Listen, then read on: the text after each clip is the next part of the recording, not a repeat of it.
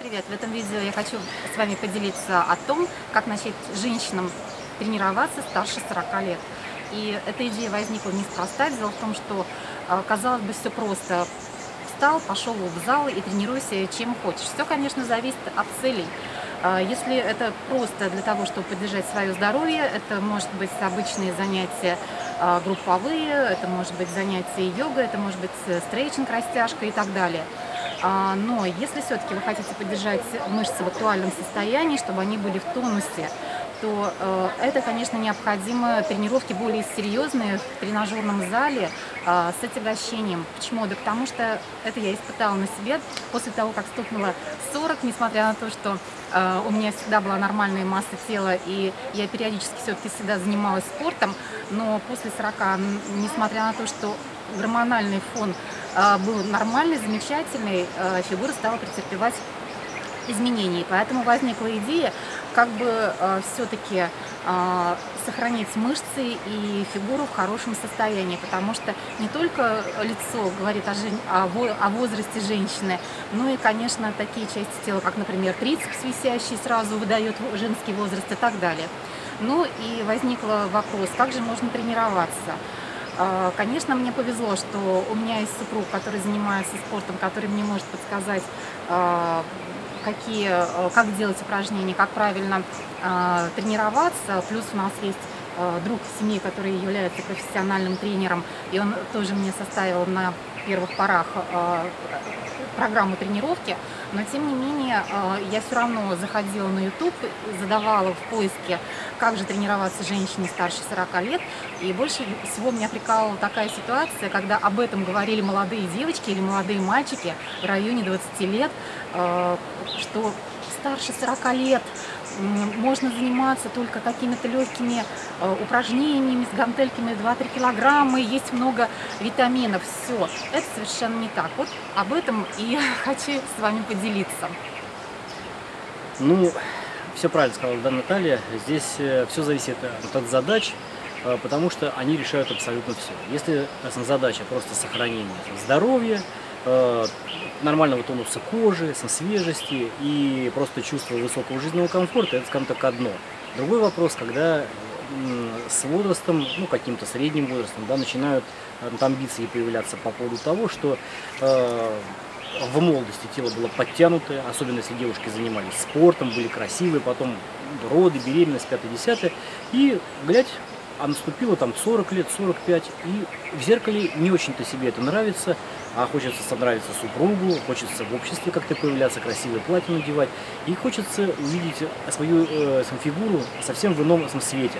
Тем более, что сейчас огромное количество э, мотивирующих э, роликов, появился тренд – значит, на красивое тело, красивую фигуру, и женщина стали рассматривать себя не так, как это было раньше. То есть раньше, ну, как бы стройная, ровненькая, там целлюлита нету, все, уже красавица, все. Сейчас, конечно, да, очень сильно планка повысилась, хочется, кроме всего этого прочего, иметь еще красивое тело, что называется. И вот если есть такой, э, если есть амбиции такие, есть э, желание, то тут, конечно, подход, скажем так, иной. И, наверное, возраст старше 45 лет для достижения таких целей, наверное, самый лучший. Я сейчас сложу свою концепцию, как, как это вижу я. Значит, почему самый лучший? Ну, потому что, во-первых, э, есть сила физическая. То есть это даже не средний возраст, это по э, ну, параметрам э, Всемирной организации самоздравоохранения. Это молодость еще там до 45 лет, это молодой возраст, там старше 45 средний наступает. Ну и то, это только средний, да, то есть это даже не пожилой никакой. То есть есть сила. Э, э, молодость говорит о том, что э, а можно ну, испытывать большие физические нагрузки. Для этого готова и кардиореспираторная система, и мышцы готовы. Но а, уже в этом возрасте, ну, мы будем говорить как два доктора, как моя супруга доктор и я, и мы говорим, как говорится, без купюр.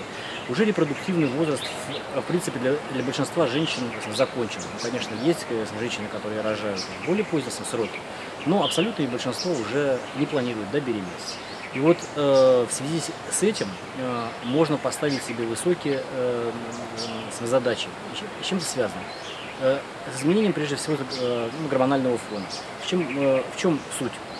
Дело в том, что активное занятие спортом и большие физические ну, нагрузки они повышают уровень э, тестостерона, который есть как у мужчин, так и у женщин. У женщин, конечно, в меньшем количестве, у, э, ну, у мужчин а в большем, но у мужчин точно так же присутствуют эстрогены, женские половые гормоны. То есть мы как и не янь, мы друг друга присутствуем, да, вот, э, но только более что-то выражено. Вот. Так вот, э, и, соответственно, для женщин тестостерон это на самом деле очень хороший гормон для красоты. Вот. Если, ну, скажем так, эстрогены хороши для сердца, они женщин, женщинам не позволяют э, дольше молодым быть, то тестостерон он позволяет именно повышать тонус э, кожи, тонус мышц. А потянутые мышцы, хороший тонус кожи, это сразу молодость. Это, это сразу же все разглаживается, все подтягивается, мутасанка меняется. Меняется так называемый тургор вообще э, кожи, э, все разглаживается. Вот. Э, подтянутость, она выражается абсолютно во всем. Э, в осанке, в положении плеч, в, э, в спине. Вот. И э, многие, э, значит, э, скажем так, ну, молодые фитоняшки, ну, это мы уж откроем тайну, которая, наверное, не является самой тайной, для того, чтобы подготовиться к выходу на подиум и на соревнования, они специально фармако, э, фармакологическими э, какими-то методами повышают уровень тестостерона собственного. Но это если профессионалки, понимаете, они его специально повышают, да, вот, что делается. На самом деле, в принципе, достаточно просто и серьезно заниматься со, э, спортом, тяжело заниматься, чтобы уровень тестостерона повысился. И вот если женщина не планирует э, значит, больше беременности и роды, то ей можно заниматься спортом очень тяжело, потому что чаще всего противопоказаниями, если что является, то, что да подожди, зачем тебе тренироваться тяжело, зачем тебе ворочать большие веса, да тебе еще рожать, да пятое-десятое. В общем, есть какие-то другие проблемы, они, конечно, надуманные, потому что э, спортом серьезно можно заниматься и э, с молодым совершенно. Те же, те же фитоняшки, вот. они выступают, и, и тяжело и рожают, да, и, и, и, рожают. рожают. Да, даже профессионалки, э, спортсмены наши, эти бегуни, там олимпийские чемпионки, да. они все нормально нормально рожают и все такое прочее. Но здесь просто, э, э, когда уже за 40, этот э, психологический барьер ну, убирается полностью. То есть можно посвятить время достижению своих целей и достижению таких э, амбиций. А ведь на самом деле, помните, да, поговорку, 45 баба ягодка, до 5, и после 40, понимаете, это тот возраст, который раньше считался для женщины, в общем-то, ну, как-то уже чуть ли не началом какого-то конца. Говорили, 40 лет бабий век. Но это, это все русские среди поговорки. Сейчас абсолютно не так. Сейчас вы э, сможете посмотреть на ну, актрис голливудских, э, спортсменок разных, э, ну, иностранных в основном, которые там мотивирующие ролики свои записывают по фитнесу, как они прекрасно выглядят. И когда вдруг э, так узнаешь, что им там за 40, некоторым за 50, а посмотрите, например, э, ну, бразильские конкурсы красоты, как среди они называются, да, э, среди бабушек, это просто фантастика. Там выходят женщины, которым за 50, за 60, даже 70 лет, вы не дадите им и 40. И, конечно, кто-то скажет, да, там косметика, пластик, ну, имеет место быть, имеет место быть но без упражнений, без физических это все равно невозможно. И понимаете, любая пластика это компенсаторное замещение того, что, э, ну, почти всего того, что можно добиться просто здоровым образом жизни и занятием э, со спортом. Вот что я э, значит, имел в э, виду, когда говорил о том, что самое время после 40 заниматься серьезно и тяжело. А, тут еще, конечно, некоторые, кто и задумывается о том, чтобы начать заниматься более серьезно, скажут, да ведь уже после 40 куча всяких болячек и прочее. Вот мы, как два врача, вам серьезно говорим, что а, какое бы ни было заболевание у человека, хоть у мужчины, хоть у женщины, при правильно подобранной программе, при правильно подобранном типе тренировок тренироваться можно при любом заболевании абсолютно. Единственное, что, к сожалению, у нас э, в России да, может быть, в странах ближнего зарубежья, скажем так, это не развито, и, к сожалению, зачастую врачи, они сами очень плохо разбираются в физических нагрузках, вообще очень сами далеки от спорта и выглядят не очень хорошо, поэтому всегда очень трудно найти, а, скажем так, а, и тренера бывают, что они не разбираются вот в этих всех тонкостях, и поэтому трудно бывает действительно кому-то подобрать а, определенный тип тренировок. Но это возможно. Ну, поэтому я, может, перебью. Mm-hmm. Что я порекомендую? Есть два подхода серьезных. Э, во-первых, если женщина планирует после 40 серьезно заниматься, она должна подобрать себе такого тренера, ну не мальчика какого-нибудь из фитнес-зала, э, то есть э, он, он красивый, мало, или девочка, которая прекрасно выглядит. Если вы поймите, теми методами, которыми эта девочка достигла своих своих форм, они вам не подойдут ни по возрасту, ни по гормональному фону, ни по методам подготовки, которые будут у нее, прошу прощения, комарики, Комарики. летают.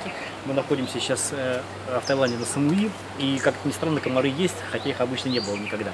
Так вот, эти девочки, они живут э, э, в спортивном зале.